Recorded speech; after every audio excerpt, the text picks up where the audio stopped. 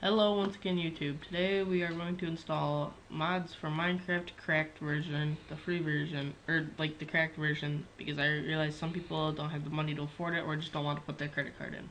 So anyways, let's get started. First off, you want to visit a website called mineshafter.info. I will put a link in the description to this, by the way. And hypo. You know what? I'll just do this. Alright. Now, when you get to the website, you want to click on Downloads. Click on Proxy. Keep. And drag it onto your desktop. Which I'm not going to do because I already have it. Anyways, it'll come up as a folder. It'll look like this. You want to just keep it on your desktop. Click on it to run it. And then when it's done loading, you want to just quit out of it and a folder or another Java thing will pop up and it'll just say Minecraft. This is the one you're going to keep, or the one that you're going to run to get the mods. That one, keep on your desktop, but don't run it for the mods. Next, you want to get the mods you want. Now, if it's, say, for the paintball, you do need Forge, and I have Forge right here, and I have the paintball mod. Now, what you want to do is go to the search bar, type in percent app data percent, and a folder called roaming will come up. You want to open that, click on .minecraft, and if you don't have a folder already called mods, just go ahead and delete it. Or I mean, if make a new one, sorry. Make a folder called just just mods, just like that. Now, since I already have Forge installed, I'm going to show you what it'll do, but basically, you want to click on that. I'm sorry, click on bin. Click on the just the Minecraft. Open with WinRAR. You do need WinRAR as well. I will put that in the description too. Open with WinRAR. Exile that. And what you want to do is open up the Forge. And all these files are going to come up. Oops, and I just exited out of it. No, I did not. Maybe I did. Nope, alright.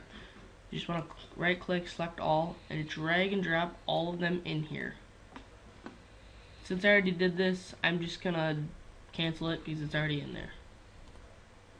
Now, what's going to drag in there is you see this folder called meta-inf. When that's done transferring to this, the minecraft.jar directory, just go ahead and delete the meta-inf folder. It'll be right in this area. Just, now you just want to exit out of both of those. Next, you want to have the bin still open. Go to paintball.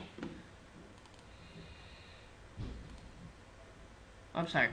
The paintball.zip, it'll be a .zip folder in another folder, but it'll just be called paintball. What you want to do is go ahead and go to the mods folder you created and drag and drop it right in there. Now, just want to put that right there. Open up Minecraft, the modded version. And with this program, you do not need any login or anything. Just do that and then hit play offline. Multiplayer will work as long as you have a cracked server. So it's going to load up. Now it's going to say four mods loaded. First with Forge, it'll just say three, but with other mod, you'll have it. And then when you check you've got them, it'll be right there. You'll have Forge, Forge mod loader, and pack. Now you just want to go to single player, and I'm just going to click on another world from another video. You can just load up the world. Hit no. Sorry. Guess I gotta create a new world. Hold on, I'm just gonna get through this.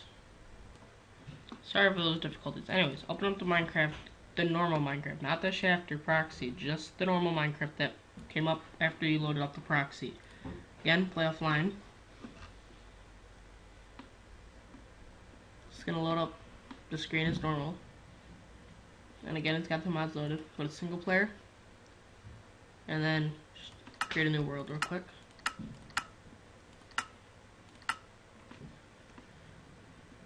Let this load up real quick.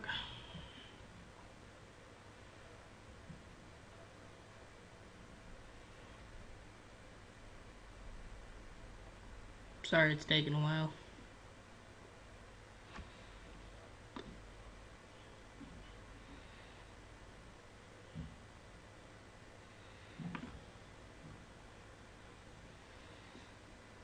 Alright, now that it's finally loaded, I'm just gonna check to see if you got the mods.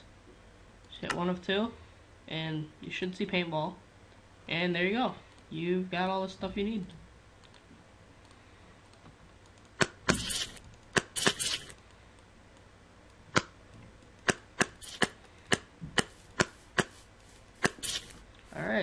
So that's it. Now just save and quit. Alright, let that run. So yeah.